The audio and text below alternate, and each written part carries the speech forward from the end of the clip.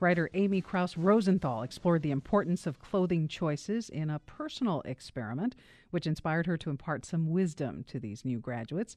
This is Amy reading her speech, Commencement Address. Dear Class of 2014, What I want to tell you today revolves around the dress that I am wearing.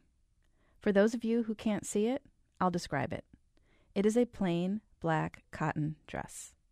I'm going to tell you a story about this plain black dress and three things I learned while wearing it. The story begins with my quest to wear the same thing for a year.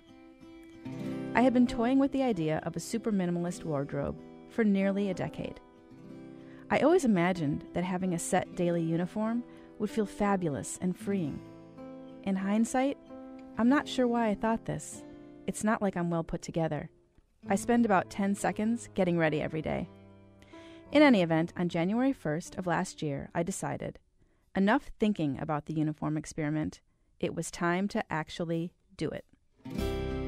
The rules I set for myself were this I would wear gray pants and a solid black top. Because I like to wear casual, flippy dresses, it was deemed that plain black dresses would also be allowed. These permissible garments remained in my closet. I had enough of each to get by and still be a clean person. Everything else was either given away or shoved into, I mean, neatly folded and placed into a black hefty bag, which then camped out in my crawl space for 52 unfashionable weeks. I didn't tell anyone except my family and a couple close friends about this experiment. Why? Because weird. Because who cares? Two, three months into the project, I started having pangs of, oh gosh, this is miserable. But there was no turning back. I knew I was in it for the long haul, both for my own follow through reasons and also because my teenage daughter was into it in a that's odd, and I would for sure never do that, but good for you for sticking with your dumb project sort of way. About halfway in, on the eve of heading out of town for a week long book tour, I decided I was going to be naughty and cheat on my project. It's perfect, I thought. Some people go away on business and cheat on their mates, and while that version is not my thing, this wardrobe treating version is so my thing. I rationalized my planned indiscretions by saying it was good fodder for my experiment. I can't tell you how exhilarating it was for me to pack that night, sneaking into the crawl space and grabbing one pattern dress after the other. The first city on my stop was Minneapolis. Our old babysitter had moved there and showed up at the book signing with her adorable new baby. Of course, I had to take some pictures to send to my kids. Two seconds later, I got a text back from my daughter. What are you doing? Why are you wearing that dress? Question mark, exclamation mark, exclamation mark, exclamation mark. Busted. By a careless text. It was so comically cliche, even down to my quick, frantic reply. I can explain. When I returned home from that trip, I had about five more months to go.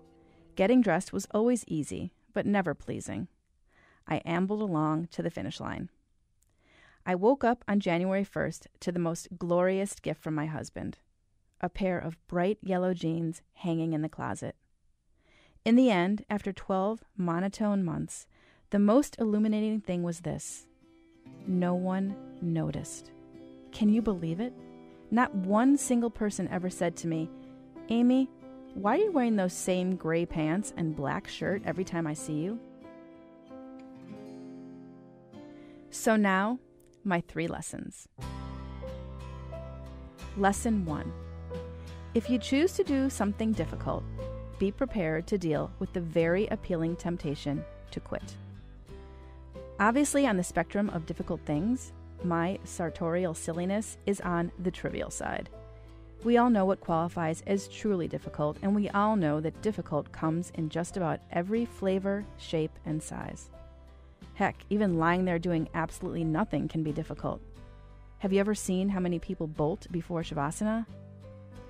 Across the board, when it comes to difficult stuff, there's only one aspect that's easy quitting. Lesson 2 if you choose to cheat, be prepared to be caught. I don't regret my week long pattern dress affair. It added some extra color to my trip, and the consequences were meager and rather laughable. But real ethical flubs invite disgrace to your door. That's a visitor that's both unsavory and hard to kick out. And by the way, truth is so easy to spot. It's always dressed in black and white. Lesson 3 If you choose to think that people think about you as much as you think about you, be prepared to be shocked. Please promise me you won't spend your lovely but numbered days on this earth burdening yourself with what other people think. Because guess what? They're not even thinking about you. In fact, don't take it too personally, but they're barely paying any attention at all. Everyone is walking around the star of their own movie, convinced that every action and line they speak is of great importance, while the rest of us are those nondescript extras in the background making weird gestures and mouthing pretend conversations. This information is equal parts humbling, depressing, and liberating. Well, graduates, that's what I've got for you today, along with good luck and this PS. It is very likely and ridiculously ironic that years from now you will say, You know, I don't remember a word she said, but I remember what she was wearing.